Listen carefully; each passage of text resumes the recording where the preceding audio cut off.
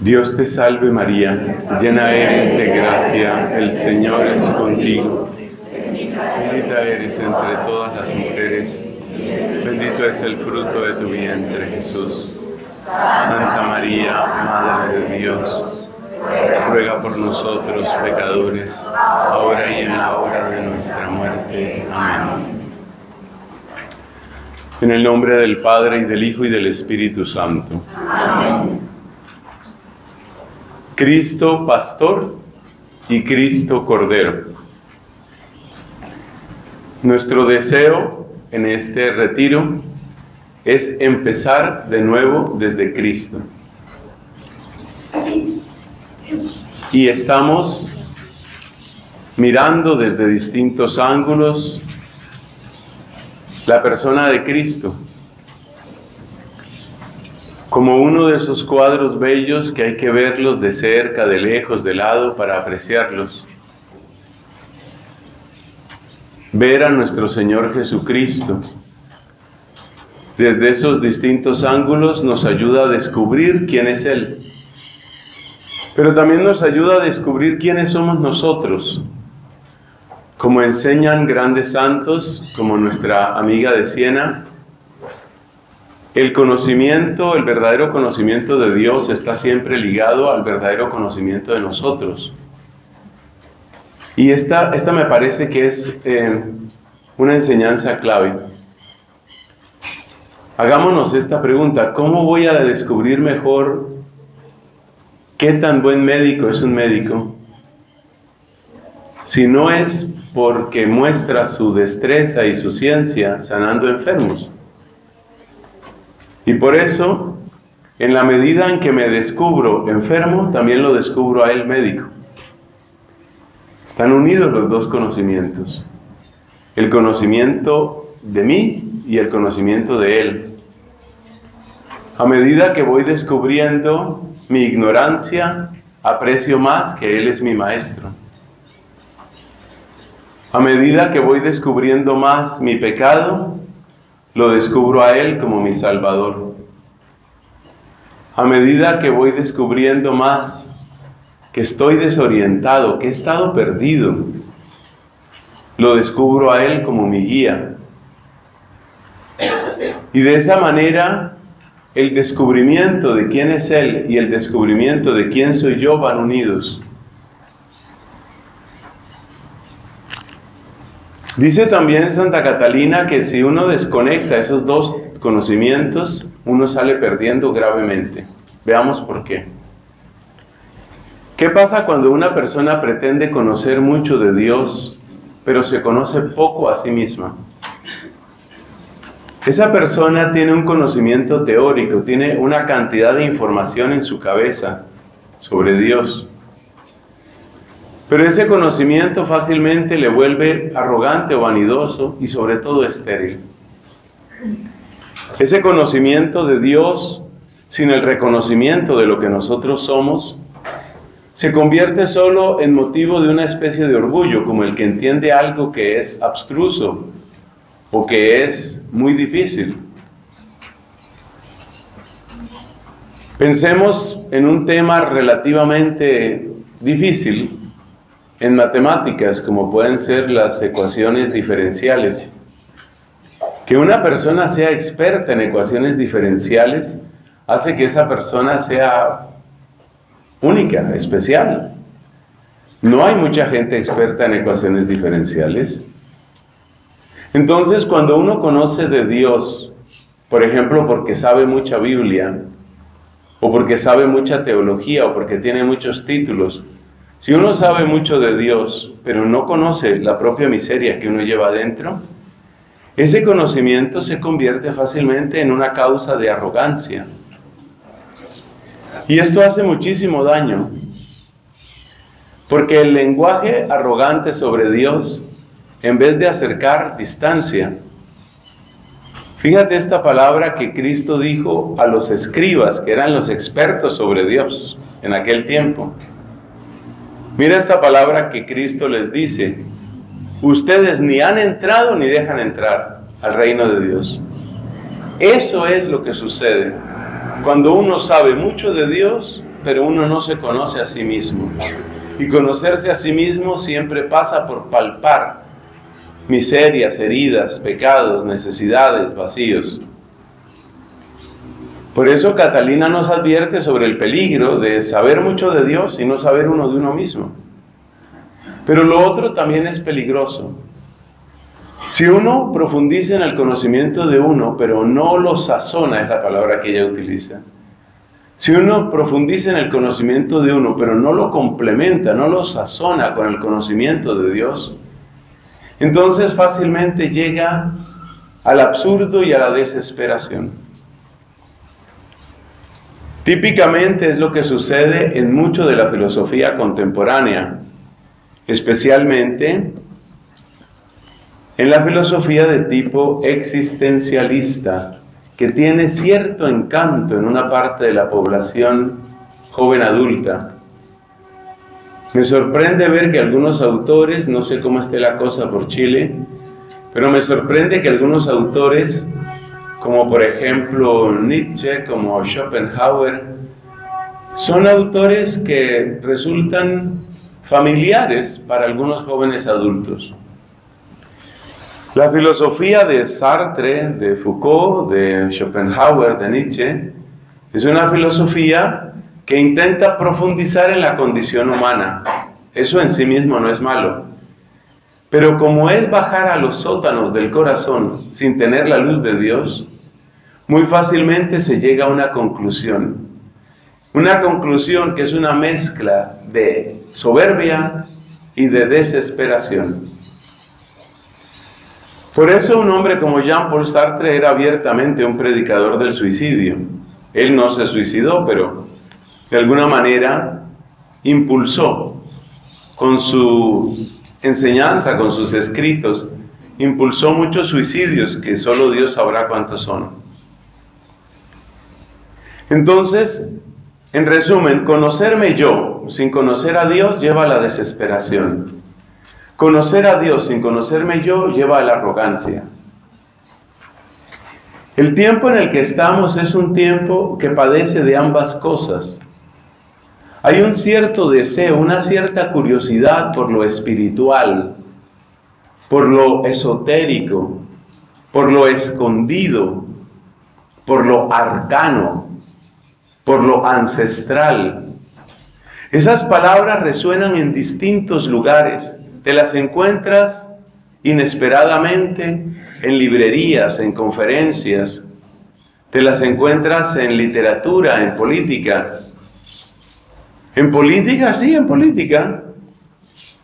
Lo arcano y lo ancestral tiene muy buena prensa en la política, sobre todo en la política de izquierda. Así, por ejemplo, tú te encuentras con que los rituales indígenas, la ayahuasca, por ejemplo, también conocida como yajé. Los rituales ancestrales causan una mezcla de curiosidad, fascinación. Y es interesante ver que las mismas personas que son súper críticas con todo lo cristiano, cuando van a entrar al mundo esotérico, dejan caer todas las aduanas y ahí se vuelven como niños dóciles, enséñenme, enséñenme, enséñenme. Un gran peligro que esto tiene es que empezamos a mezclar cosas. Ese es un peligro muy grande. Empezamos a mezclar. Y entonces decimos, bueno, entonces yo tomo lo cristiano, un poco lo que me sirve lo cristiano, pero tomo también de lo indígena, ancestral, arcaico, arcano. Y vamos haciendo unas mezclas. Como vamos a ver en esta conferencia, Dios nos ayude. Esas mezclas son venenosas. Esas mezclas son venenosas. Hay una frase que es tan dura de entender, pero tan cierta, una frase muy fuerte que tiene Santo Tomás de Aquino. Básicamente lo que dice Santo Tomás refiriéndose a la fe católica es esto. El que no tiene toda la fe no tiene fe. Qué cosa tan dura, qué manera de hablar, oye. Qué cosa tan antipática. Pero eso es lo que dice Santo Tomás. Y el argumento de él a mí me parece que es correcto. La frase es básicamente esa, el que no tiene toda la fe, no tiene fe, refiriéndose a la fe cristiana católica. ¿Por qué eso? Porque dice Santo Tomás que el gran pecado contra la fe es escoger. Cuando yo empiezo a escoger, que hoy lo está haciendo no sé qué porcentaje, pero es altísimo del pueblo católico. Cuando yo empiezo a escoger ya no tengo fe. Qué cosa tan horrible la que dice Santo Tomás, razón que mucha gente no quiere Santo Tomás de Aquino. Es que es horrible lo que dice, pero tiene toda la razón. Vamos a tratar de explicar eso porque eso tiene mucho que ver con Cristo como pastor. Sucede esto, ¿cuál es el peligro de escoger? Escoger, ¿qué quiere decir? Que lo que no me gusta de la fe cristiana, lo rechazo como si fuera un supermercado, ¿no? No me gusta esta marca de jabón, no la compro. Si me gusta esta marca de desodorante, eh, la compro. Me gusta esta marca de ropa, la compro. No me gusta esta marca de zapatos, no la compro. Entonces nosotros vivimos en la lógica del supermercado y escogemos. Pero ¿cuál es el grave peligro de escoger? Que el Espíritu Santo me ayude, que yo pueda explicarme, Dios mío. Mira, cuando tú empiezas a escoger, el criterio eres tú, el criterio no es Dios. Ese es el argumento de Santo Tomás. La persona que escoge ha tomado como criterio su ser, su elección. Entonces, si yo empiezo a decir, bueno, yo voy a escoger del budismo lo que me parece, yo voy a escoger de la nueva era lo que me parece, yo voy a escoger del cristianismo lo que me parece. Por ejemplo, hoy en Latinoamérica hay mucha gente que le llama la atención la dimensión social del cristianismo. Es decir, el hecho de que nuestra fe cristiana desde siempre le ha dado un lugar muy importante a los desposeídos, a los pobres. Mira la carta de Santiago, es del siglo I, y ya habla de este tema. Hasta la enseñanza del Papa Francisco. Son dos mil años claritos de enseñanza donde el pobre, el desposeído, el marginado siempre tienen un lugar. Eso me gusta de la fe cristiana. Pero la fe cristiana me dice que no debo ser adúltero. Y resulta que yo fracasé en mi matrimonio y estoy tratando de rehacer mi vida y estoy, como dicen aquí, ya pololeando. Entonces, como estoy pololeando y como me siento feliz con la novia que me conseguí, después de que yo estuve casado por la iglesia, entonces ahora quiero que la iglesia me admita lo que yo quiero. Eso es escoger. Me gusta la enseñanza social de la iglesia, no me gusta la enseñanza sexual de la iglesia. Entonces yo escojo lo que yo quiero. Pues dice Santo Tomás de Aquino, cuando tú escoges lo que tú quieres, el criterio eres tú, el criterio no es Dios. Y si el criterio no es Dios, tú no le estás creyendo a Dios. Tú estás creyéndole únicamente a tu criterio. Claro que también existe la otra tendencia. Hay gente que le fascina todo lo que es provida y está muy bien que te guste, todo lo que es provida, la santidad del matrimonio, matrimonio para toda la vida, un hombre, una mujer, toda la vida hasta la muerte, fecundos, les encanta todo eso. Pero cuando se llega, por ejemplo, al otro tema, al tema social, ah, no, todo eso es comunismo. A mí no me hables de comunismo. ¿Cuál comunismo? ¿Cuál comunismo? Que hay gente que la está pasando muy mal. Hay gente que está siendo maltratada y no por una generación, sino por generaciones y generaciones. Entonces nosotros no podemos escoger sin rechazar. En la fe no se puede escoger sin rechazar. O mejor, no se puede escoger sin perder la fe. Y te repito, el gran argumento de Santo Tomás de Aquino es, cuando empiezas a escoger en la fe, ya el criterio no es Dios, el criterio eres tú. Y si el criterio eres tú, ya no le estás creyendo a Dios, ya te estás creyendo a ti. Entonces ya tu fe está en ti, ya tu fe no está en Dios. ¿Qué cosa tan seria es esto de la fe? Pero volvamos a nuestro tema anterior. Nuestro tema anterior es que hay que saber unir el conocimiento de Dios y el conocimiento de nosotros. Hay que unir esos dos conocimientos. De tal manera que yo pueda saber más, esta expresión es de San Agustín, que yo pueda saber más de la misericordia divina en la medida en que conozco mejor mi propia miseria. San Agustín juega varias veces con esas dos palabras, miseria y misericordia. Cada miseria que encuentre en mí tiene que remitirme a la misericordia de Dios. Pero cada misericordia que yo encuentre en Dios, debo verla como remedio que transforma mi propia miseria. O sea, tú imagínate un tablero, además de este, un tablero donde están escritas las dos palabras miseria abajo y misericordia arriba. Mi miseria tiene que llevarme a su misericordia. Y su misericordia debe transformar mi miseria. Ese es el círculo existencial del crecimiento en Dios, según San Agustín. Y eso también se lo hereda la amiga de Siena, Santa Catalina. Entonces, miseria y misericordia. Esto indica que no hay crecimiento espiritual sin recorrer ese círculo. Y según enseñan varios, sobre todo estos dos, San Agustín en el siglo V, Santa Catalina en el siglo XIV, ese círculo de miseria y misericordia hay que recorrerlo todos los días. Haz de cuenta, se parece mucho a esas escaleras que van en espiral y que tú vuelves a pasar por el mismo lugar, pero no en el mismo sitio. O sea, tú vas en espiral y vuelves y pasas, imagínate esas escaleras que van así subiendo por una torre. La torre tiene ventanitas y tú vas pasando por la ventana y vuelves y pasas por la ventana y vuelves y pasas por la ventana, pero cada vez estás más alto. Así es con la miseria y la misericordia. ¿Y qué significa hacer ese recorrido? significa que en ese momento Cristo es mi pastor. Esa es la manera como Cristo es mi pastor. Cristo es mi pastor mostrándome mi miseria y mostrándome su misericordia. Así es como Cristo es mi pastor.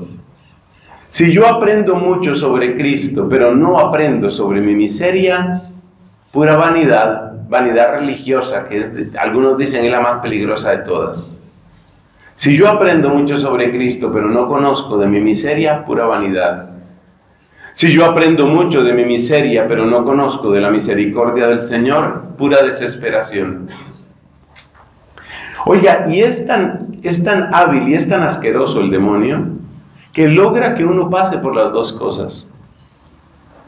Hay una comparación que una vez me regaló el Señor y que yo creo que, vale la pena repetirla aquí.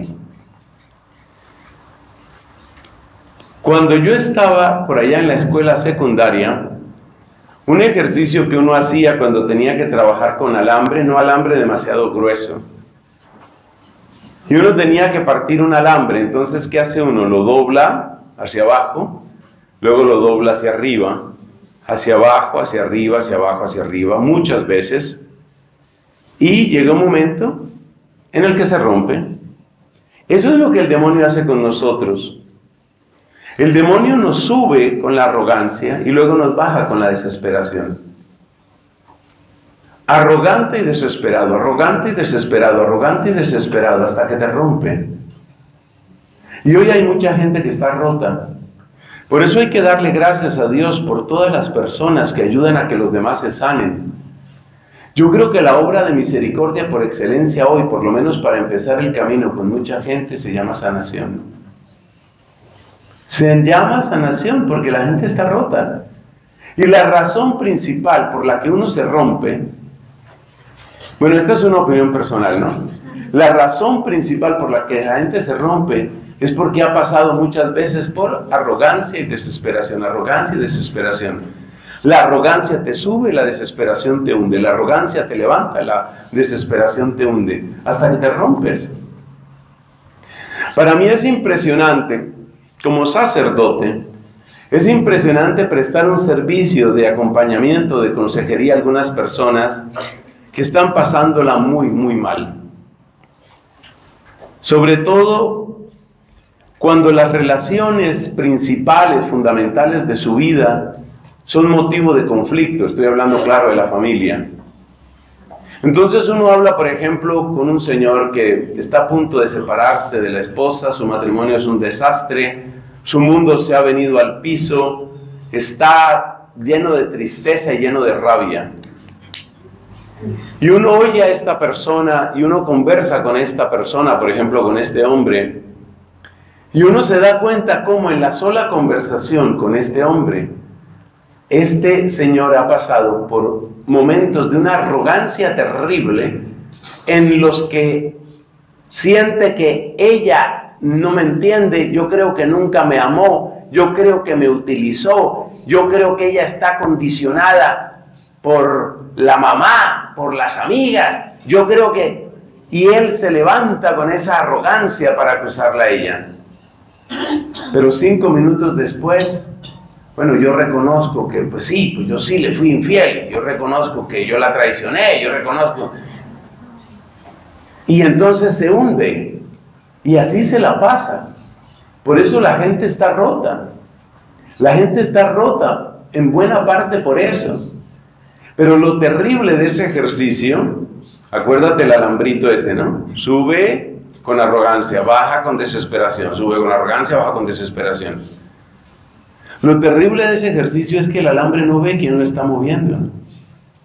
Y finalmente el que está moviendo ese alambre, pues es el enemigo malo.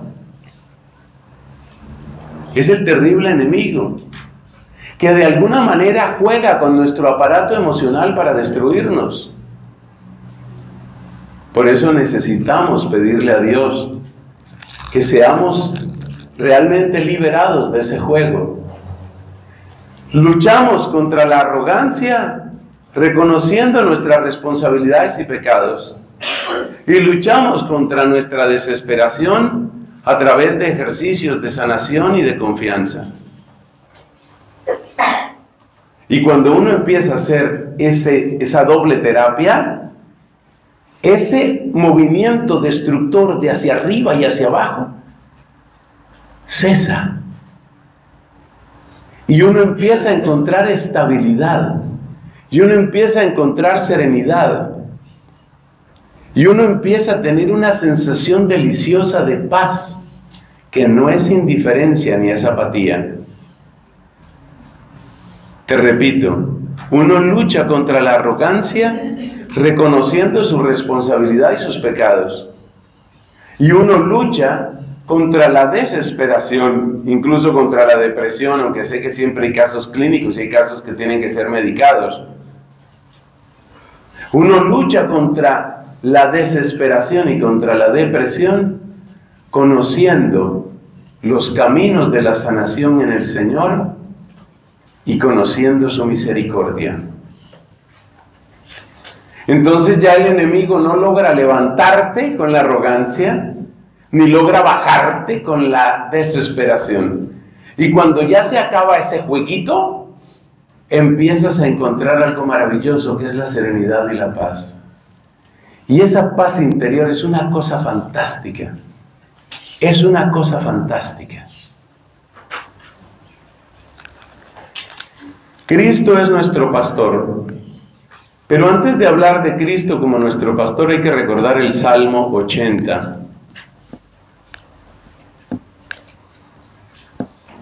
Pastor de Israel, escucha, tú que guías a José como un rebaño, tú que te sientas sobre querubines resplandece, despierta tu poder y ven a salvarnos. Él es el pastor.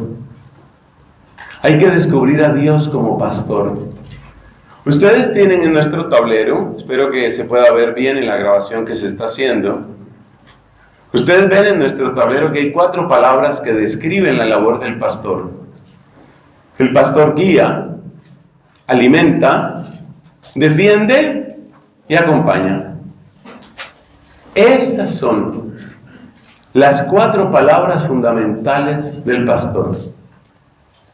El pastor guía, alimenta, defiende y acompaña.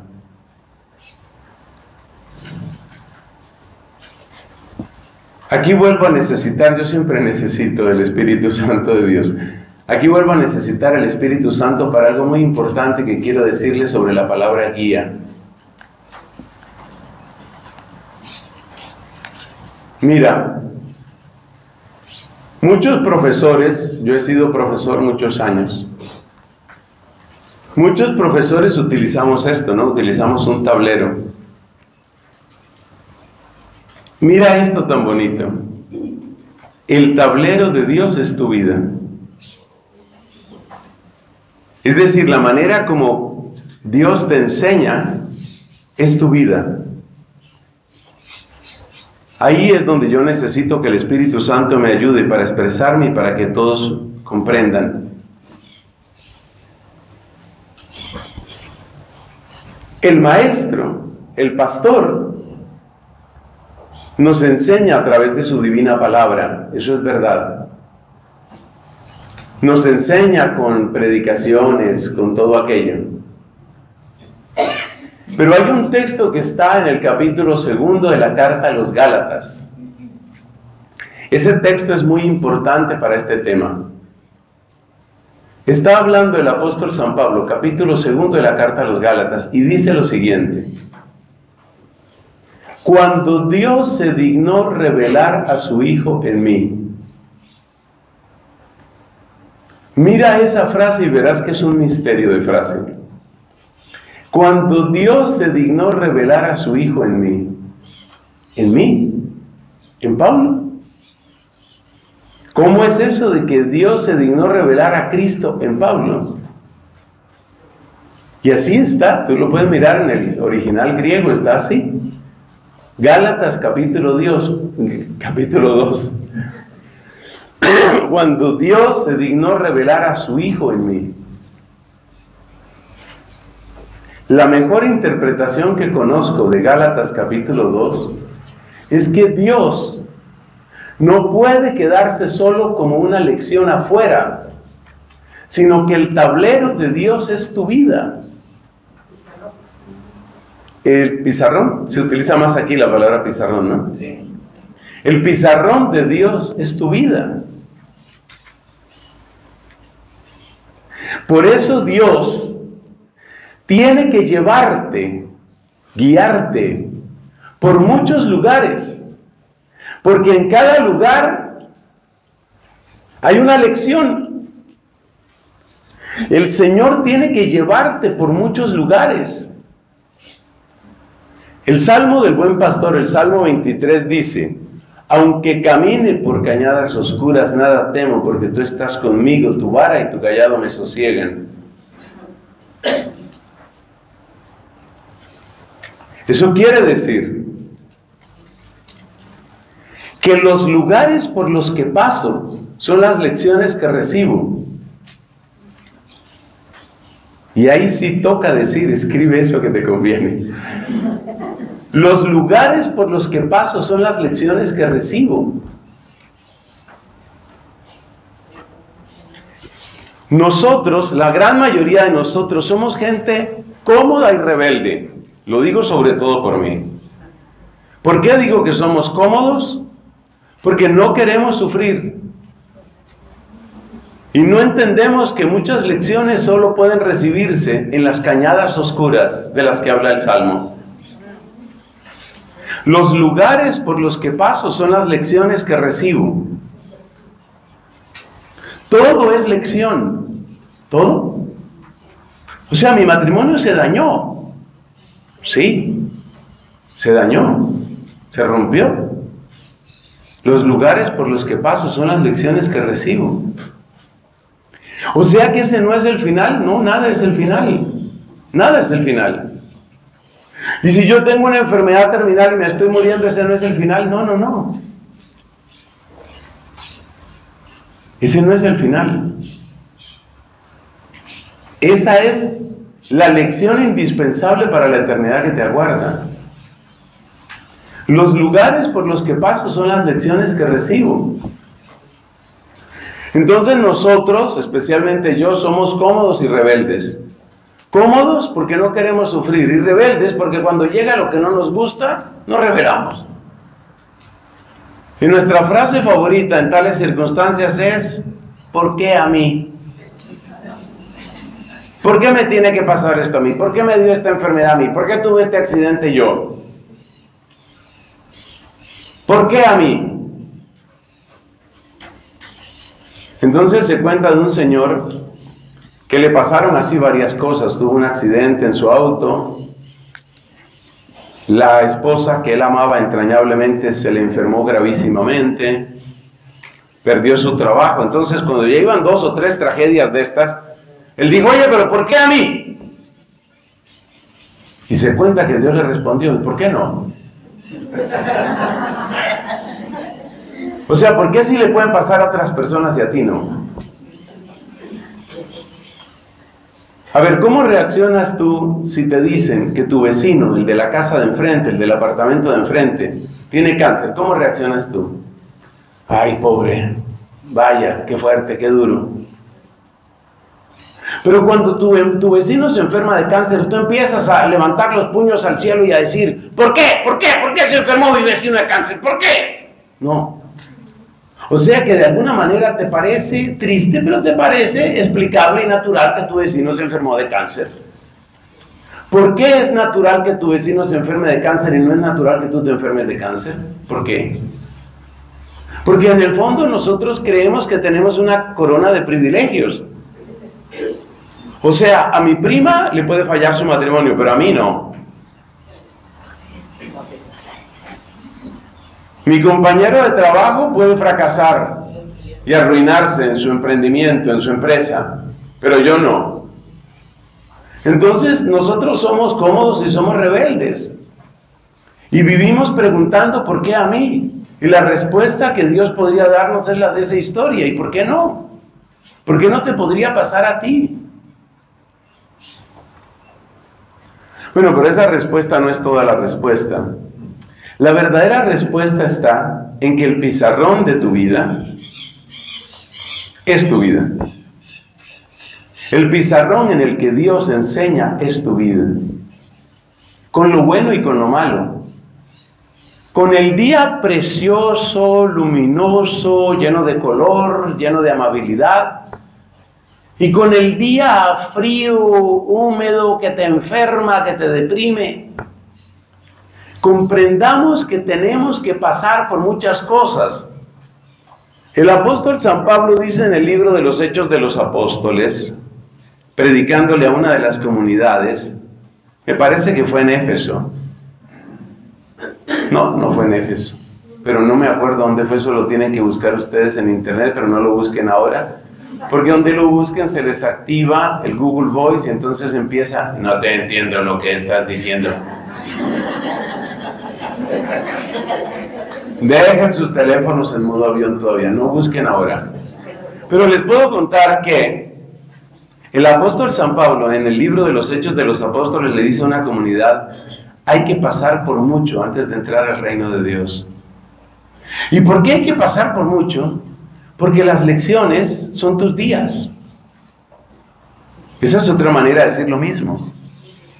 Las lecciones son tus días. Hay cosas que solo se pueden aprender viviéndolas. Pasando a través de ellas. Me gusta la expresión en inglés, going through. Atravesando la situación. Solo ahí se pueden aprender cosas. Esto es tan cierto que incluso nuestro Señor Jesucristo aprendió, el que todo lo sabe. ¿Aprendió? Claro. El evangelista San Lucas dice que crecía en edad, sabiduría y gracia. Pero sobre todo la carta a los hebreos es explícita donde dice, aprendió sufriendo a obedecer. Uy, si eso le pasó a él, ¿qué me espera a mí? Tus lecciones son tus días. Por eso la pregunta que uno tiene que hacerse, la gran pregunta que uno tiene que hacerse es, ¿Qué me quieres enseñar con esto? con esta enfermedad, con esta ruina, con esta amiga que me traicionó, con este amigo que me parecía fantástico y me ha decepcionado, con este matrimonio que no funciona, ¿qué me quieres enseñar? Cuanto más rápido te sacudas de la comodidad y de la rebeldía, cuanto más rápido te sacudas de eso, más pronto empiezas a avanzar. La mayor parte de nosotros en la vida espiritual llevamos un camino a velocidad, yo no digo de tortuga, digo de caracol. Nuestra velocidad es ridícula. Nosotros no caminamos, nosotros no corremos, nosotros nos arrastramos y nos arrastramos quejándonos. ¿Qué pasa cuando uno deja de quejarse? Hay dos maneras de dejar de quejarse. Una manera de dejar de quejarse es porque uno considera que es inútil y simplemente reprime el quejido. Represión no es palabra que ayude. La otra manera de quejarse es porque uno toma actitud de discípulo. Entonces, para quienes están tomando apuntes, que hoy son más personas, o sea, que han servido las exhortaciones de las charlas pasadas. Ya hay más gente tomando apuntes. Para quienes están tomando apuntes, es importante darnos cuenta que las lecciones son los días. Muy importante. Es importante darnos cuenta, es importante aprender que uno puede dejar de quejarse porque reprime, eso yo no lo recomiendo, no hagan eso. Eso enferma. Tarde o temprano eso enferma, enferma tu cuerpo, enferma tu mente. Dejar de quejarse solo por represión no funciona. Ese es el peligro de otra cosa que está sucediendo en redes sociales. Y es que se está poniendo de moda entre jóvenes adultos, yo tengo ubicada mi población, se está poniendo de moda el estoicismo. Entonces están citando a Epicteto, están citando a Séneca, están citando a Marco Aurelio, están citando el estoicismo. Y mucha gente está creyendo que el estoicismo es la solución.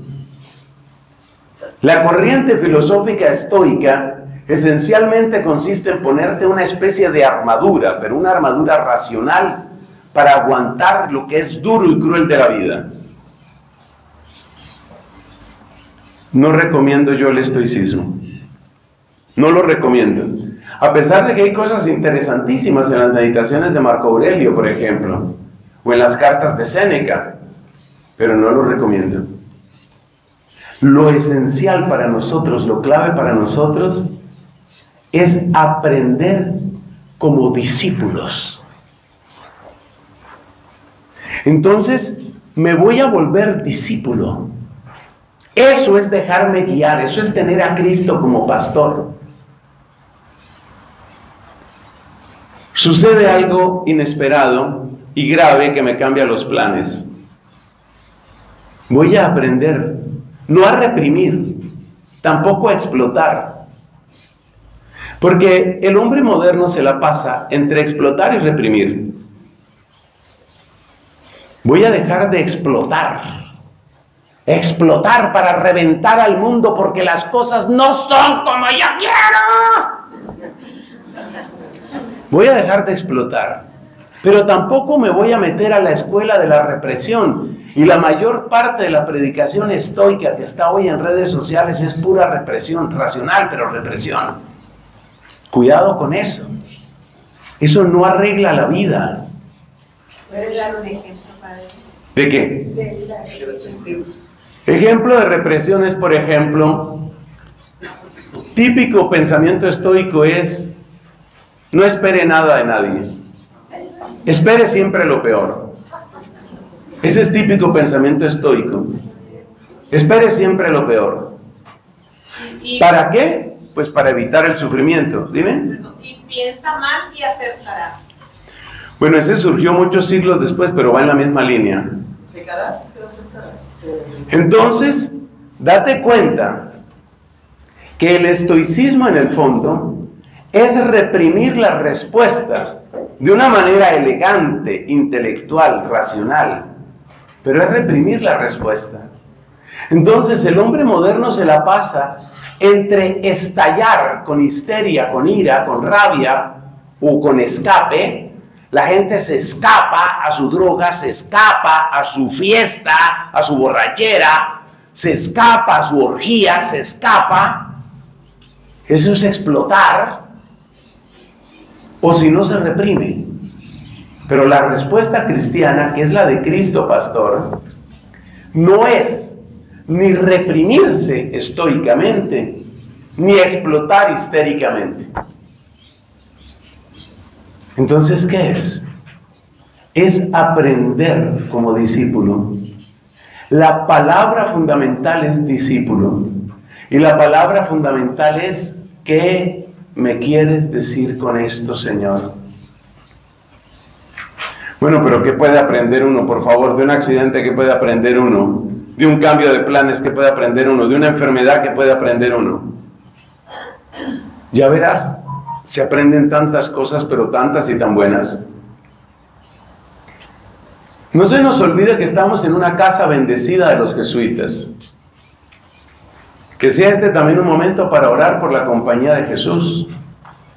Porque así como tienen grandes santos, lo mismo que en todas las comunidades, también hay desastres que están pasando entre los jesuitas. Pero ese es otro tema. Hay desastres entre los dominicos, hay desastres entre los sacerdotes, hay desastres en muchas partes. Pero estamos en una casa marcada por la santidad de un jesuita. Y esta casa es un buen lugar para invocar la memoria y la intercesión de San Ignacio de Loyola, el fundador de los jesuitas. ¿Y cómo llegó San Ignacio a ser San Ignacio? Porque Dios le cambió los planes. Tú sabes lo que él quería hacer. Él quería ser un gran general. Él quería ser un gran soldado. Fue herido malamente, salvajemente, brutalmente en una pierna. Tuvo una larguísima convalecencia. Yo siento escalofrío de contarles, o mejor dicho, de recordarles, porque seguramente ustedes conocen la historia, que él tuvo que ser operado de su pierna. ¿Y por qué eso me da escalofrío? Porque no había anestesia. O sea, tú imagínate lo que es una operación en tu rodilla sin anestesia. Te digo algo peor. La operación salió mal. Tuvieron que volverlo a operar. La convalecencia de él fue larguísima. Pero ¿qué sacó él de eso? O mejor, ¿qué sacó Dios de eso? Un santo. ¿Y qué santo? ¿Qué santo por Dios? A mí me impacta tanto la figura de San Ignacio, lo, lo, quiero y lo admiro. Dicen que los jesuitas y los dominicos, que tenemos dificultades, que tenemos tensiones, que una cantidad de cosas. Bueno, dejemos ese tema quieto. Ese tema no se toca. Y hablemos de que San Ignacio es un santo gigante. Oye, tú sabes, este es un paréntesis, tú sabes que San Ignacio de Loyola escribió en Manresa los ejercicios espirituales cuando era laico. Él no era sacerdote. Los ejercicios espirituales son el escrito de un laico santo. Él después tomó el camino del sacerdocio se formó en la Universidad de París, se ordenó ya bastante mayor. Es increíble, la historia de San Ignacio Loyola, como la historia de todos los santos, es bellísima. Y Dios le cambió los planes. Mejor dicho, Dios tenía el deporte de cambiarle los planes a él. Porque hasta el final de la vida Dios le estuvo cambiando planes. Cuando ya tenían un grupo, un grupo que era más que una fraternidad, era como una familia, era algo maravilloso ese primer grupo de jesuitas, porque eran muy unidos, porque eran gente que se amaba en Cristo y porque eran santos. Ese primer grupo de jesuitas es una cosa, es un ejemplo para toda la iglesia. ¿Y cuál era el plan de San Ignacio? Pues nos vamos a Tierra Santa nos vamos a la tierra de Jesús y vamos a servir allá. Entonces se fueron a Roma para salir del puerto de Roma, que no es la ciudad de Roma, sino una población llamada Ostia. Entonces iban a salir para navegar hasta Tierra Santa. Pero los barcos para Tierra Santa solo salían en una época del año. ¿Acuerdas de todo el tema de las estaciones, el invierno, los vientos, en fin, cosas que yo no conozco? Pero solo en una época del año salían los barcos y solo cuando hacía buen tiempo. Esperaron, esperaron, esperaron, no hay salida, no hay barco. Esperaron, esperaron, esperaron, no hay salida, no hay barco, no hay barco, no hay barco, no hay salida. El gran deseo de San Ignacio no se pudo realizar nunca. De ahí surgió entonces otro cambio. Ah, entonces vamos a tener una obediencia especial al Papa. Pero eso le tocó a San Ignacio ese cambio de rumbo a raíz de que no le funcionaron las cosas. ¿Cuántas veces en la vida de San Ignacio y cuántas veces en la vida de los santos Dios interrumpe y dice por aquí no? Pero es que yo quería, muy bien dicho, quería. Pretérito imperfecto del verbo querer, quería. Ahora ya no quieras eso porque ya eso no va más. Pero es que yo quería. El libro de los Hechos de los Apóstoles nos cuenta cómo Dios ya les cambiaba los planes a ellos. Cuenta San Lucas, autor de los Hechos de los Apóstoles, cuenta eso. Queríamos ir para tal parte, el Espíritu Santo no nos dejó. Es un modo caritativo de escribir. Porque perfectamente hubiera podido decir, pero no se pudo. Y tampoco se pudo. Y mejor dicho, nada funcionó. Hay muchas cosas que no funcionan. Y yo digo, si no le funcionaron a San Lucas, si no le funcionaron a San Pablo, si no le funcionaron a San Ignacio, ¿por qué le tienen que funcionar a Frank Nelson? Claro. Entonces, una de las oraciones más liberadoras que existe en esta tierra, oración profundamente liberadora es, Señor, te doy permiso de que me cambies los planes. Esa oración libera, porque te libera de la doble cadena que casi todos tenemos, que se llama comodidad y rebeldía. Gracias a Dios respondió alguien. Hasta ahora no ha fallado, que cada pregunta que hago por lo menos una persona la responde. Además hay un fenómeno social que se da en este retiro que yo no lo he visto en otras partes, y es que uno pregunta y todo el mundo hunde la cabeza.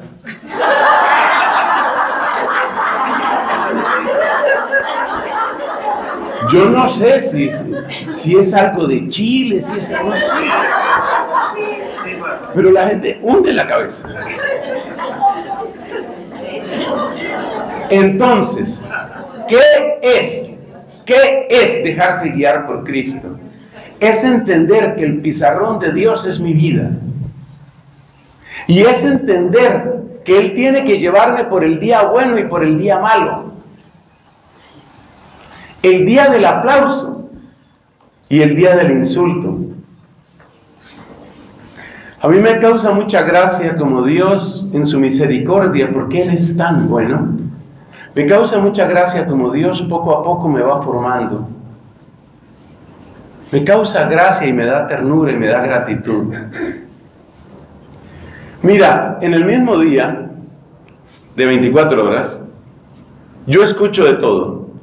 Hay gente que lo mira a uno y le dice, Padre, mi vida ha cambiado totalmente gracias a usted. Usted ha sido un instrumento de Dios poderoso en mi vida. Que Dios lo bendiga en el tiempo y en la eternidad. Unas bendiciones impresionantes, que la gente, la gente es generosa. Y la gente le dice uno palabras así cariñosas. Yo a veces he pensado como en escribir mi propia novena.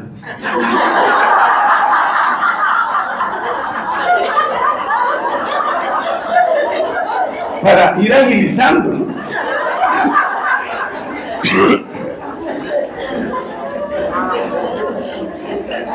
Pero luego, entra uno al canal de YouTube. Pedazo de sacerdote hipócrita. Cura desgraciado, deje de estafar a la gente. Ahora, ¿dónde se metió? ¿De quiénes está abusando? Todo eso le dicen a uno. Dios lo tiene que llevar a uno por el día bueno y por el día malo. Pasamos, dice el Salmo, pasamos por fuego y por agua, pero nos has dado respiro. Y San Pablo dice en el libro de los Hechos de los Apóstoles, hay que pasar muchas cosas para entrar al reino de Dios. Es impresionante ver a San Pablo al final de su vida. ¿Y de qué se alegra? Esto, esto a mí me gusta mucho. Tal vez porque yo pienso mucho en la muerte, pero no de ahora, sino desde hace tiempo. Pienso mucho en la muerte. San Pablo al final de su vida, ¿de qué se alegra? esto me encanta. ¿De qué se alegra San Pablo al final de su vida? Mira, San Pablo es probablemente después de Cristo el mejor predicador que ha tenido la humanidad. San Pablo es probablemente, junto con San Juan Evangelista, el mayor teólogo que ha tenido la humanidad. San Pablo hizo milagros impresionantes, desde resucitar muertos hasta tener visiones místicas. Pero cuando él llega al final de su vida, según cuenta la segunda carta a Timoteo, ¿de qué se alegra San Pablo? ¿Se alegra acaso San Pablo de decir, hice muchos milagros, prediqué a grandes multitudes, convertí? No. Lo único de lo que él se alegra es, he conservado la fe. Eso, eso es de una ternura yo pensaba, por ejemplo, anoche que tuvimos esa adoración, cuando íbamos con el Santísimo y llevaba esa lamparita, esa velita tan pequeña, aquí nuestro amigo Ítalo llevaba la lamparita esa pequeña, como marcando el camino, ¿no? La lamparita, sí la viste, ¿no? Una, una lucecita. Yo pienso que ese era San Pablo, y la lucecita que él necesitaba que no se le apagara nunca era su fe. Y cuando llega a la segunda carta, Timoteo dice, he conservado la fe.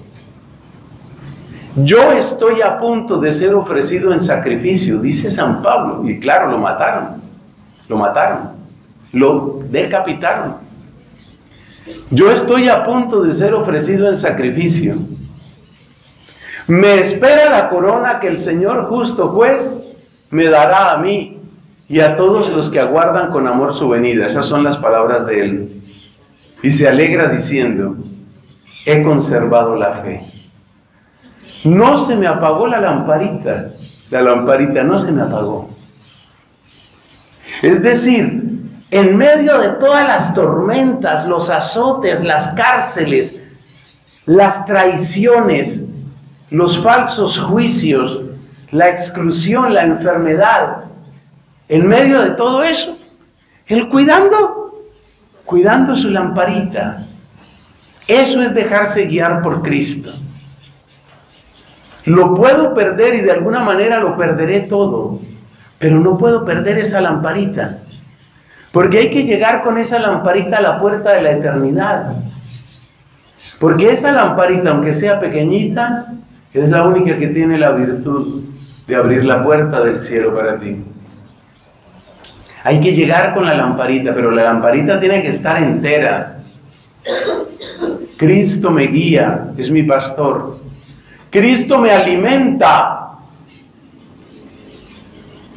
¿Cómo me alimenta? Me alimenta con su palabra, me alimenta con su ejemplo, me alimenta con su espíritu. y sobre todo, me alimenta con su cuerpo y con su sangre. Por favor, no se te olvide lo que le dijo Dios al profeta Elías.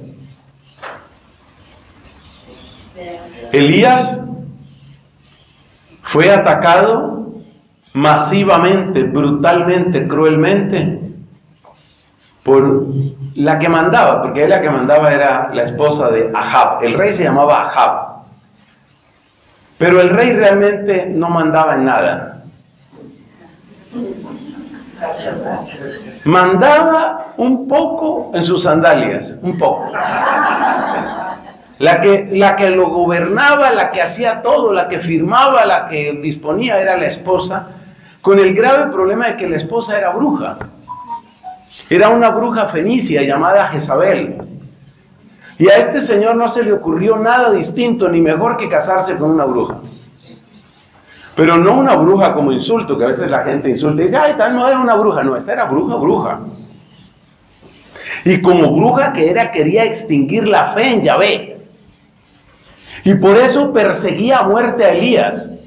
Y Elías, no teniendo a dónde ir, tuvo que emprender camino por el desierto. A morirse de hambre, soledad, desesperación y sed.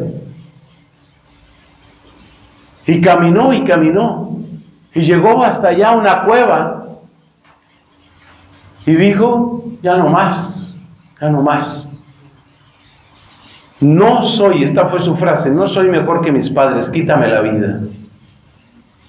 Obsérvese, aún en esa situación desesperada, no tomó el dominio sobre su propia vida, sino que reconoció a Dios como Señor de su vida, también en esa circunstancia. Él no se suicidó. Él dijo, quítame tú la vida porque tú sigues siendo mi Señor. Pero realmente no se murió, obviamente, no se murió pero sí le dio mucho sueño. Después los psicólogos han descubierto que hay una característica, hay un tipo de depresión que produce muchísimo sueño. Es un sueño que no repara, es un sueño que no descansa, es un sueño que es pura huida de la realidad. Es una manera de apagar el cerebro para que no sufra más. Elías sufrió de ese tipo de depresión. Entonces se quedó profundamente dormido aunque no sé si debo decir profundamente, porque ya dijimos que no es sueño reparador. Lo despertó Dios y le dio alimento. Había agua y había pan. Entonces, él tenía hambre, comió el pan, bebió el agua. ¿De dónde salió esa agua? Milagro. ¿Y qué hizo? Se volvió a dormir. Comió y se volvió a dormir. Actitudes típicas de una persona depresiva. A duras penas come y duerme. Y a veces no come. Pero este sí comió. Y se durmió. Se quedó profundamente dormido, aunque no sé si debo decir profundamente. Despierta entonces el Señor a Elías otra vez y le dice, come. Y viene la frase que nos interesa, porque el camino es superior a tus fuerzas. Come. Aquí hay que recordar de nuevo a San Agustín, hermanos queridos. Esta frase sobre la Eucaristía que les voy a decir es de San Agustín. Dice de la siguiente manera, con el alimento natural, lo que tú comes se convierte en ti. Con el alimento de la Eucaristía, a quien comes te convierte en él. Eso es de San Agustín.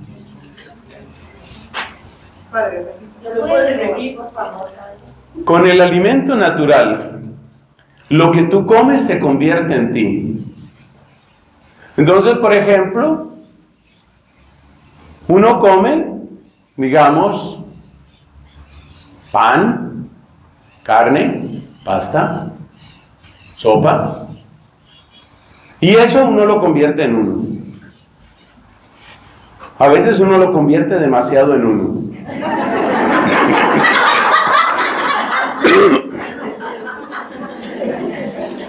Lo que tú comes, ¿cómo es? Se convierte en ti. Con la Eucaristía a quien tú comes te convierte en él. Con la Eucaristía, a quien tú comes te convierte en él. O sea que cuando yo comulgo santamente, Él me convierte en Él. Si yo como carne de marrano, eso no me vuelve marrano, en contra de lo que dicen algunos vegetarianos. Yo como carne de marrano, eso no me vuelve marrano. El marrano se vuelve yo. Claro que si me descuido. bueno, eso pasa con el alimento natural. Con el alimento natural lo que tú comes se convierte en ti. Con la Eucaristía, a quien tú comes, te convierte en él. Entonces uno empieza a volverse Cristo, a amar como Cristo, a sentir como Cristo, a orar como Cristo. Realmente uno se va cristificando. ¿Y por qué es necesario cristificarse? ¿Por qué es necesario volverse Cristo? Porque para las batallas que hoy tenemos, no bastan tus fuerzas. Acuérdate lo que le dijo Dios a Elías. El camino es superior. Yo pienso siempre en los queridos jóvenes. Usted piense en las batallas que tiene un joven hoy. El camino es superior a sus fuerzas. Porque prácticamente todos o casi todos sus amigos, sus conocidos, sus compañeros de curso, sus compañeros de clase, compañeros de universidad, van por otro lado, tienen otras ideas, buscan otras cosas. ¿De dónde va a surgir la resistencia, la fortaleza? No solo para aguantar, sino para ofrecer el Evangelio. Porque es que lo propio del cristianismo no es nada más aguantar, aguante y aguante y aguante, no. Es aguantar y avanzar. ¿De dónde va a surgir esa fortaleza? Tienes que tener a Cristo vivo en ti.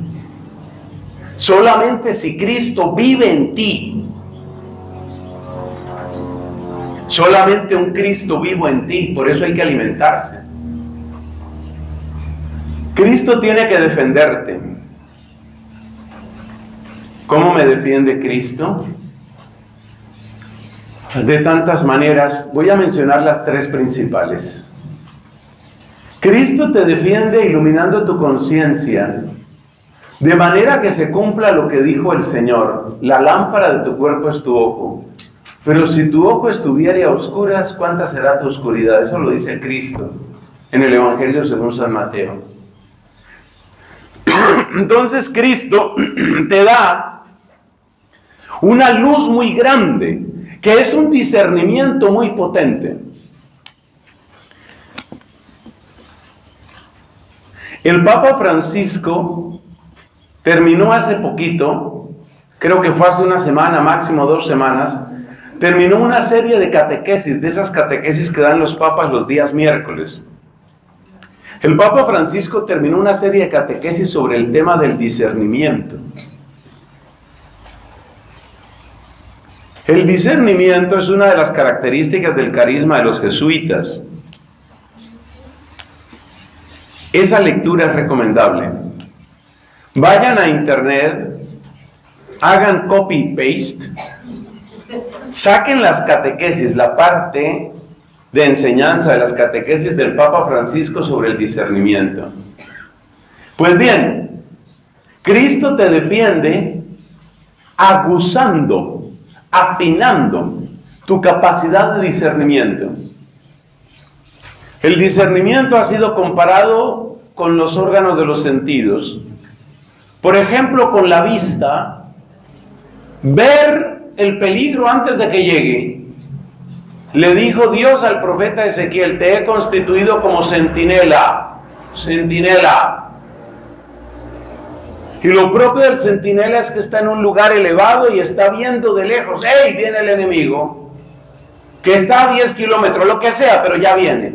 Ver, eso es discernimiento. También el discernimiento se ha asociado con el oído. Oído. Mi madre, que Dios la tenga en la gloria, tenía un oído que como dice un obispo allá de mi país, era un oído católico. ¿Verdad? Mi mamá tenía una sensibilidad para detectar lo que es de la fe y lo que no es de la fe.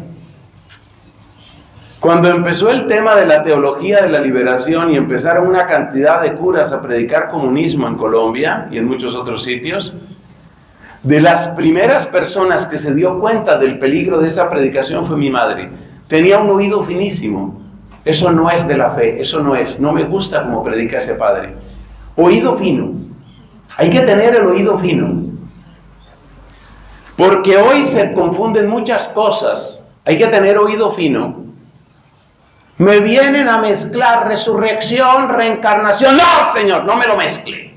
No me lo mezcle. Oído fino. Eso te da Cristo para defenderte. Oído fino. No, a mí no me confunden. Porque resulta que hoy la nueva era es experta en confusión. ¿Cómo lo hace? Utilizando las mismas palabras nuestras o parecidas, pero con un sentido diferente.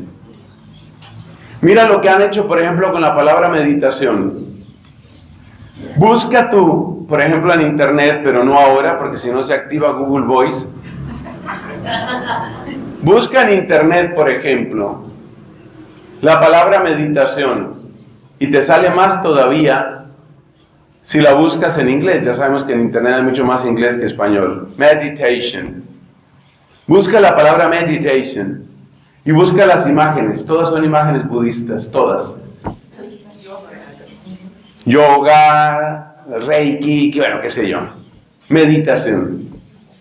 Posición del otro. Eh, posición del otro. Eso empezó eso empezó hace unos 40 años, ya yo tengo edad suficiente para recordarlo. Cuando yo era un adolescente, cuando yo era un niño, un adolescente, la palabra meditación todavía tenía sentido cristiano. ¿Qué significa meditación en sentido cristiano? Significa una reflexión ordenada, profunda, a partir de un texto de la escritura o de un texto de un santo. Eso era una meditación. Tanto que en muchos retiros espirituales se hablaba no de conferencia, charla o plática, sino meditaciones. Las meditaciones eran reflexiones, predicaciones a partir de un texto de la escritura o a partir de la vida de un santo, de un escrito de un santo. Eran meditaciones.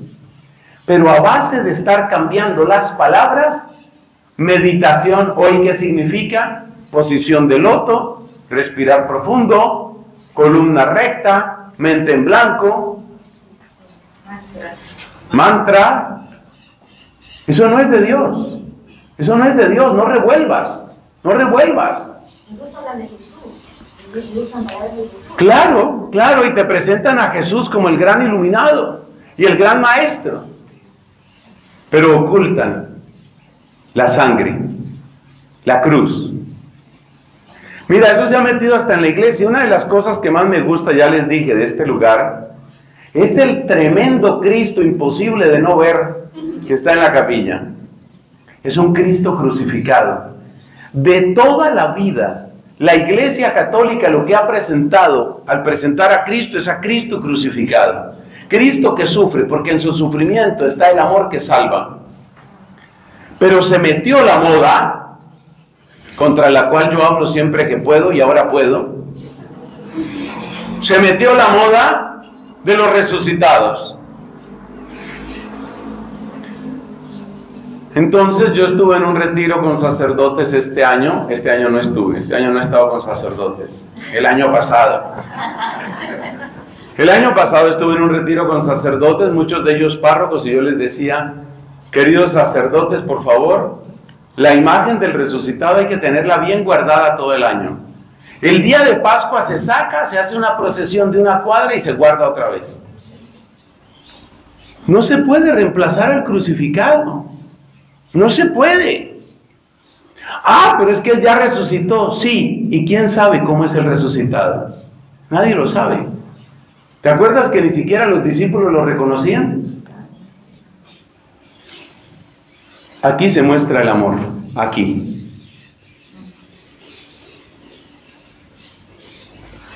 Mira, ¿dónde hay en el mundo entero un santuario del Señor resucitado que la gente busque, que la gente ame, donde la gente se confiese? ¿Dónde hay? Eso no existe.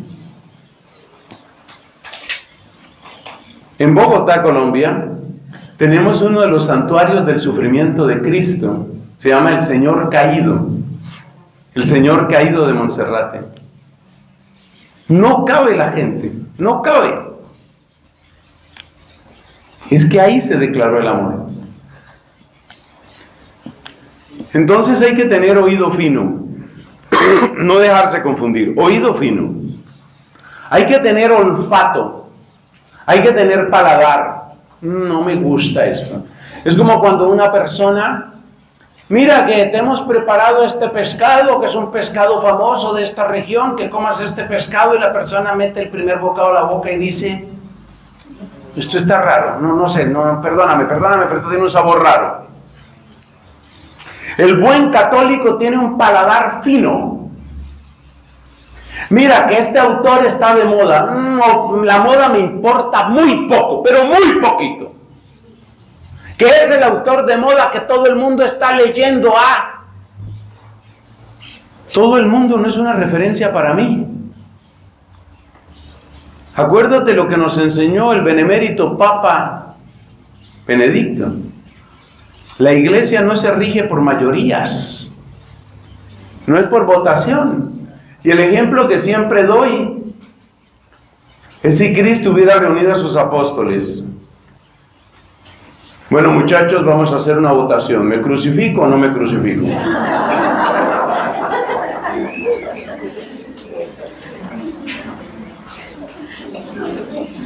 La cruz no se resuelve por votación.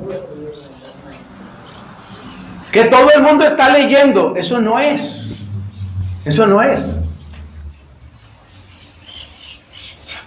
Personalmente, que trato de ser, quiero ser servidor del Evangelio, personalmente, mi lema es el de San Pablo, que me lo aprendí en griego, paredo kajimin hokai parelabon, que traduce, yo transmití lo que yo recibí. La cualidad de un predicador no es ser original, si usted quiere llenarme de tristeza, frustración, decepción y rabia, dígame que soy original. Yo no quiero ser original. Yo no quiero inventarme nada. El Evangelio yo lo recibí y yo trato de transmitirlo. El día que yo me empiece a inventar el Evangelio, traicioné al amor de mi alma. Entonces, estamos en cómo nos defiende Cristo, que es donde vamos casi a terminar, porque en algún momento hay que terminar. Cristo te defiende dándote ese, ese oído fino, ese paladar fino, ese olfato fino. Cuando empiecen con esa terminología que tú dices, a ver, esta palabra la utilizaría Santo Tomás, la utilizaría San Alfonso María Ligorio, la utilizaría San Ignacio de Loyola. De ahí la importancia de lo que decíamos de las presencias de Cristo, que decíamos en la homilía. Cuando tú oyes a Cristo, se cumple Juan capítulo 10. Mis ovejas conocen mi voz de tal manera que cuando me vienen con un lenguajito así como medio raro, entonces yo digo, no, ese no es el lenguaje, ese no es el lenguaje, así no es, así no es. Así no es. Pero por eso hay que leer las fuentes nuestras. Porque si no cualquiera te cambia el lenguaje y detrás del lenguaje te cambia la cabeza. Y detrás del lenguaje y la cabeza te cambia la vida y te lleva donde quiere.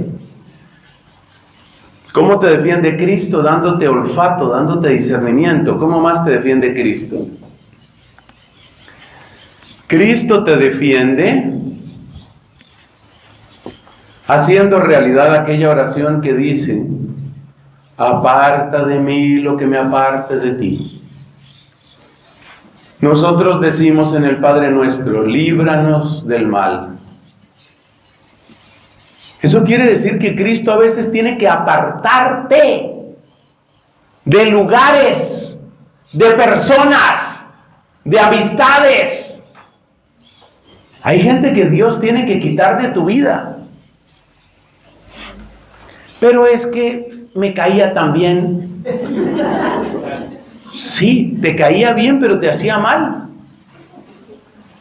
Dios a veces tiene que quitar gente de tu vida. Acuérdese que uno es cómodo y rebelde. Entonces uno dice, bueno, ¿y Dios por qué me quitó a tal persona? Y el otro responde, se iba demorando en quitártela.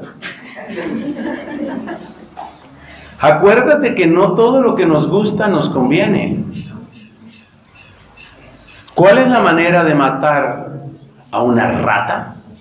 Se le da algo que le gusta, pero que la envenena. El veneno para ratas no puede saber a veneno, porque si no la rata no se lo come. Entonces, cuidado con los gustos. Que a mí me gusta tal lectura, que a mí me gusta tal lugar, que a mí me gusta tal persona, que a mí me gusta. Ahí hay que responder como respondimos ayer. Y que te guste no significa nada. Puede que te guste y te sirva, puede que te guste y te haga daño. Entonces Dios le tiene que quitar a uno mucha gente. Entonces uno dice, pero entonces voy a sufrir. Y Cristo te mira a los ojos y te dice, correcto. Claro que va a sufrir. Claro. Nadie ha dicho que no va a sufrir, sí va a sufrir. Y tendrá que hacer el duelo. Dios tiene que quitar gente de tu vida, Dios tiene que quitar libros de tu vida, Dios tiene que quitar lugares de tu vida y así te defiende. Ahora, en eso hay que tener un poco de cuidado. Porque hay personas que no están bien, pero a las que uno puede servir. Y hay personas que no están bien, pero uno no está capacitado para servirles. ¿Ve? Ahí entra lo primero que dijimos, el discernimiento. Entonces, por ejemplo, ¿qué les pasa a algunos cristianos jóvenes? Les pasa lo siguiente. Resulta que, por ejemplo, una señorita tiene una gran amiga. Esta amiga, como se expresan algunos millennials hoy, esta amiga es un poquito loquita un poquito loquita que es que ella vive haciendo experimentos con su sexo. ¿Cómo así? Pues ella tiene relaciones con distintas personas, ella se ha metido en tríos, ella ha sido lesbiana, ella ha sido bisexual, ella ha sido muchas cosas. Es un poquito loquita, ya sabes. ¿Eso se llama loquita? No sabía que eso significaba la palabra loquita. Bueno, también le ha dado un poco al tema de la droga, ya sabes, ha probado y ya hace la lista de, ah, ya. El hecho de que esa mujer esté haciendo experimentos con drogas, con trago, con sexo, no quiere decir que esa mujer se vaya a condenar. No, eso solo Dios lo sabe. Pero la pregunta es, ¿soy yo la persona para ayudar a esa mujer? Esa es la pregunta que hay que hacer. Porque no se te olvide que mientras que tú tratas de evangelizar al otro, el otro también trata de convencerte a ti. Entonces se han dado casos de sacerdotes que fueron a la India a evangelizar y resultaron hinduistas. O sea, tú tratas de evangelizar, pero a ti también te evangelizan. Entonces tú tienes tu amiga que es multisexual y drogadicta y borracha y adúltera y divertidísima y locancia y loquita y todo lo que tú quieras. La pregunta es, ¿de verdad tú la vas a ayudar a ella o ella te va a cambiar a ti? Piénsalo. Entonces ahí hay que tener el discernimiento. Yo he conocido religiosas muy santas. He conocido mujeres con unos apostolados.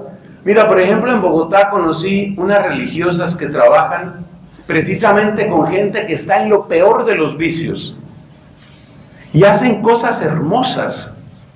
Han cambiado la vida de muchas de estas mujeres que estaban de llenas en la, de lleno en la promiscuidad más espantosa y en droga y de todo. Y hay religiosas bellas y santas que han ayudado a salir a otras mujeres de ahí. Es un carisma muy fuerte y un don de Dios muy alto. Pero ¿significa eso que cada uno de nosotros está capacitado para hacer lo mismo? Probablemente no. Entonces hay personas que están mal y a las que tú vas a poder servir. Pero hay personas que están mal y tú no las vas a poder servir. Tú no eres la persona para servir a esa persona. Esto hay que tener mucho cuidado, sobre todo por el lado afectivo, porque acuérdate que el lado afectivo de nosotros es el lado pegajoso, sticky, dicen en inglés, sticky. Nosotros somos pegajosos por el lado afectivo. Entonces, ¿sabes lo que a veces sucede? Mira esta historia, por ejemplo, que es una historia, pero tan triste. Sucedió hace como un año, año y medio. Conocí el caso de un seminarista, un muchacho muy sano, de una familia muy católica, y él conoció en la universidad, porque él estudia en una facultad de teología, creo que sigue estudiando, pero ya no es seminarista, o sea que ya sabe para dónde va esta historia. Él conoció en esa facultad, conoció a una muchacha de estas, así un poquito loquita. Yo conocí también a esa chica. Y siempre me llamó la atención porque ella nunca tenía frío. Nunca le daba frío. Bogotá es más o menos fría y ella nunca tenía frío. Es más, tenía un calor tan grande que necesitaba amplias zonas de su cuerpo al aire libre.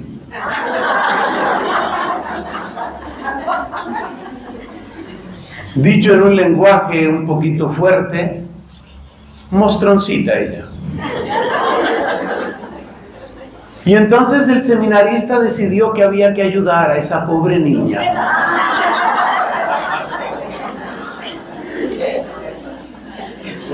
Había que abrigarla.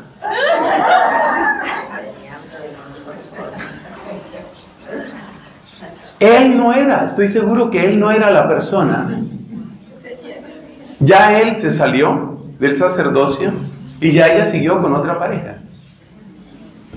Tú no eres la persona. A veces Dios tiene que quitarte las personas. Y uno tiene que medir sus fuerzas. Uno no es para ayudar a todo. Lo mismo pasa con estos temas de liberación. Hay gente que tiene dos meses de convertida. Que entonces dice, bueno, me voy a ir para tal población. ¿Y qué queda allá? Es que hay un brujo que es de familia de brujos. Parece que está poseído por 17 demonios. Vamos a ir allá a orar. Me parece excelente que se le quiera hacer un bien a esa persona, pero ¿eres tú? ¿Eres tú quien tiene que estar ahí? Entonces, por eso Cristo a veces, a veces, tiene que defenderte alejándote, alejándote. Y hay gente a la que Cristo te quita. Y como el afecto es la parte más pegajosa del corazón humano, uno se apega a las personas. Y uno dice, pero es que yo quiero ayudar a esa chica que tiene tanto frío en Bogotá, yo la quiero ayudar. Y además, la última vez que hablamos, ella lloró y me contó su drama, y es un drama terrible. Y yo quiero seguirla escuchando, escucharla en la mañana, en la tarde, en la noche, en la madrugada, escucharla.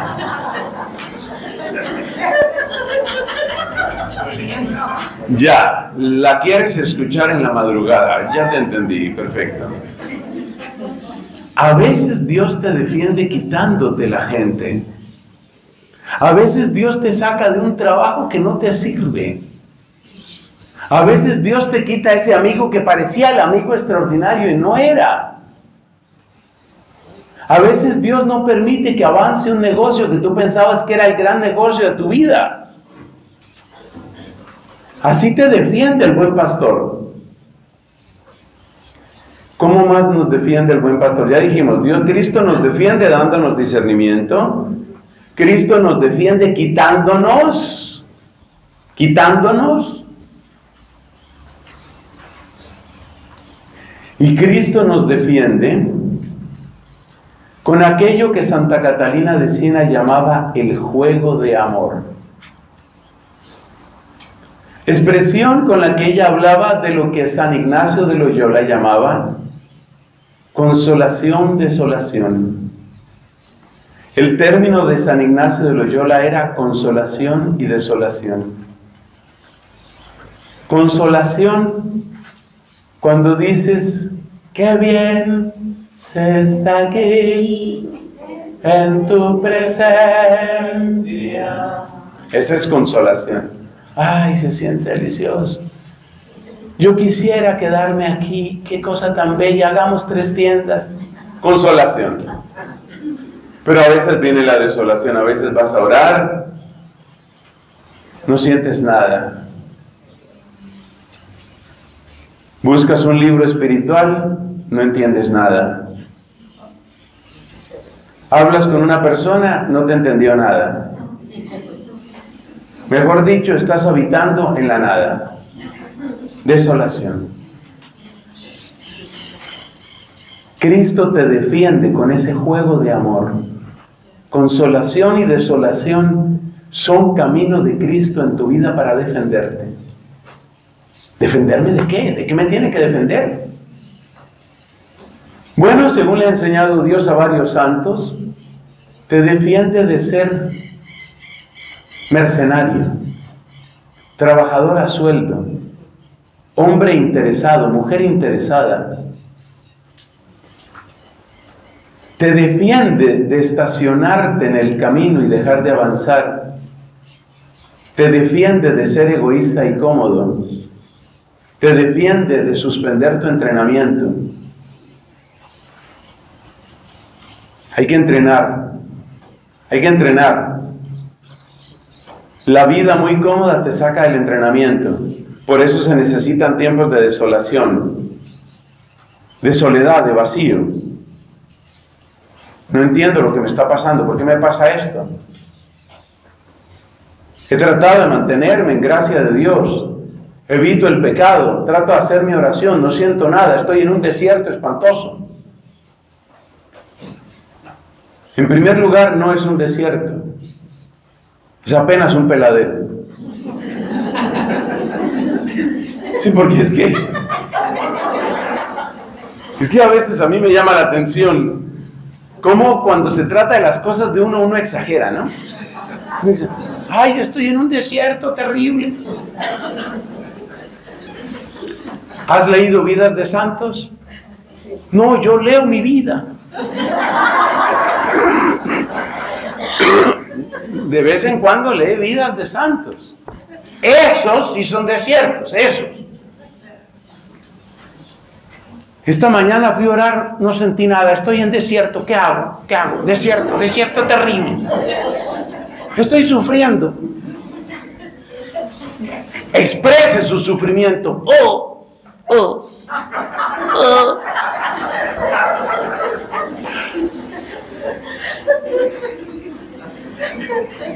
Usted no le ha pasado nada realmente. Desiertos los que han vivido unos cuantos santos. Mire Charles de Foucault. Por favor, jamás confundir con Michel Foucault, ¿no? Mire a Charles de Foucault. Eso es desierto. Mire a San Antonio Abad, mire a Madre Teresa de Calcuta que vivió décadas en desierto. Eso es desierto. Pero una tentación de la gente, especialmente la que ha caminado por la renovación carismática, una tentación, ¿sabe cuál es? Cualquier momento que no se sienten súper, estoy en desierto. ¿Por qué tienes esa cara? Estoy en desierto. Desierto. No te rías, que es mi desierto, es un desierto duro.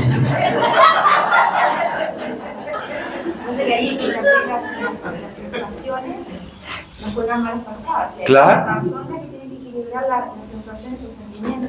Sí, y no hay que darse tanta importancia. A veces uno se da tanta importancia.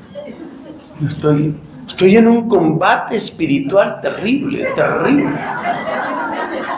Bueno, explícame cuál es tu combate. Pues que yo le prometí al Señor que no iba a comer mermelada en este reino. Por todas partes nos dan mermelada, por todas partes. Es un combate, es una cosa. Mira, anoche yo veía un río y era un río de mermelada. Estoy en un combate terrible. Deja de exagerar. Nos damos tanta importancia. Cualquier cosa ya es un combate, ya es un desierto, ya estoy, es decir, de mí depende, no te digo el mundo, la galaxia. Por eso Cristo tiene que educarnos y nos educa con consolación, desolación. Así nos defiende, así nos acompaña, así hace el camino con nosotros. Resumen de este tema de la defensa. Cristo nos defiende afinando nuestro discernimiento, sobre todo en los contenidos de la fe, los contenidos de la fe. No me revuelvan, por favor, la fe católica con nada. Segundo, ni con los... Bueno, sobre ese tema es complicado. Porque resulta que de los protestantes hay cosas que se pueden aprender. Pero bueno, ahí viene el discernimiento. Ahí viene el discernimiento. Y eso da para otra conferencia, pero no alcanzamos a hacerla en este retiro. Pero sí hay que tener mucho cuidado con los protestantes, porque también, por ejemplo, a través de la música te van llevando, te van llevando. A través de la elocuencia te van llevando, te van llevando. Hay que tener cuidado. Entonces, Dios te educa en el discernimiento. Dios te quita gente. Y por eso hoy hay que orar diciéndole al Señor, te doy permiso, te doy permiso. Guíame, quítame lo que me tengas que quitar. Pero uno dice eso y tiembla. Pero hay que decírselo al Señor. Y tercero, Dios me defiende por el camino de consolación, desolación. Porque así es como me mantiene peregrino. Así es como me mantiene entrenado. Así es como me mantiene en forma. Así es como me mantiene libre. Gloria al Padre, al Hijo y al Espíritu Santo.